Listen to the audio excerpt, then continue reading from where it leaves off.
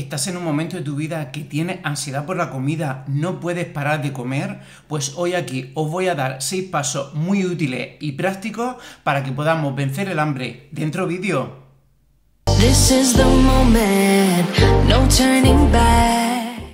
Hola fit amigos y fit amigas, bienvenidos a un nuevo vídeo. En el día de hoy vamos a tratar la ansiedad por la comida y cómo vamos a poder vencerla de alguna forma. Si bien es cierto que este tipo de problemas se genera no por el impulso que simplemente quieras comer, sino que siempre hay un problema emocional que lo genera. De hecho, os dejo por aquí un enlace de un vídeo completísimo donde explico con todo detalle cómo resolver los problemas emocionales que están relacionados con la comida y con el sobrepeso. Y sin más preámbulo, vamos a iniciarnos en el tema. Paso número uno, el tiempo es esencial. Comer sin prisa ayuda a bajar los biorritmos del cuerpo y el estado de estrés.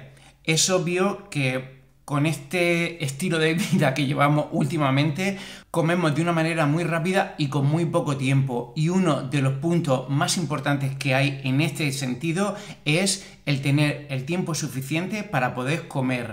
Paso número 2. Respira mientras comes. La respiración contribuye a interiorizar y saborear los alimentos de una manera consciente. Como en todos los procesos regenerativos, la respiración contribuye e interviene en este proceso. Entonces es absolutamente esencial que respiremos porque eso va a activar nuestras papilas gustativas. Esto va a hacer que todas las funciones que intervienen en la digestión se realicen de una manera mucho más efectiva. Paso número 3. Mastica mucho y lentamente.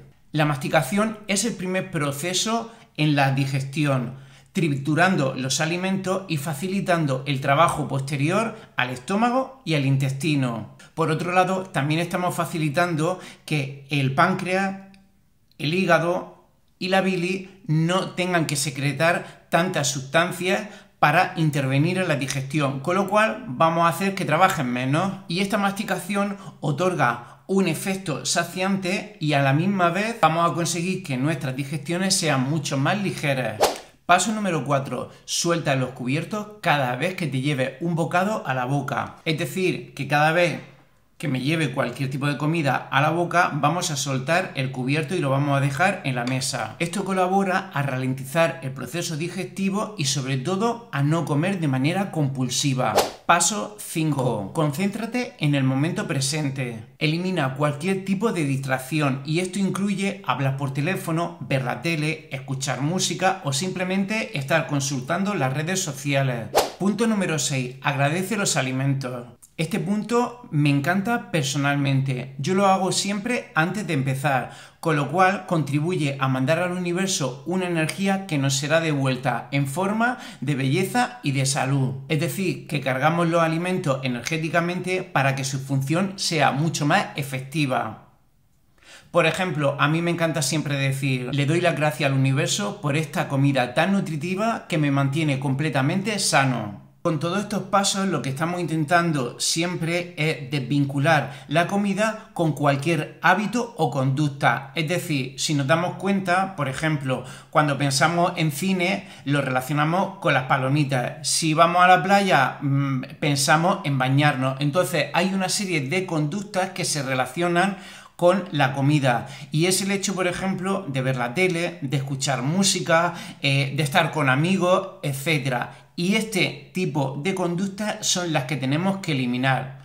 De hecho, ya es muy eh, común ver gente realmente obesa que mientras que ve la tele come de una manera compulsiva. Y siempre vamos a mantener en la cabeza y vamos a ser muy conscientes de que sí es verdad que estos pasos pues nos van a facilitar mucho las cosas, pero si no resolvemos el problema emocional que nos genera esa ansiedad o ese estrés, difícil va a ser poder resolver este problema. A mí sinceramente me ha funcionado siempre y mucho y me ayuda a interiorizar la comida y a que me siente realmente de una manera sana. Decidme por comentario si este tipo de pasos lo lleváis normalmente con vuestros eh, hábitos alimenticios o es muy difícil llevarlo a cabo debido pues principalmente al tipo de vida y al frenético ritmo que llevamos. Hoy quería compartir algo muy especial puesto que en el día de esta grabación, es decir, el 19 de noviembre, es mi cumpleaños y estoy súper feliz de poder compartirlo con todos vosotros. Os mando un besico enorme y que tengáis buena semana. ¡Chao!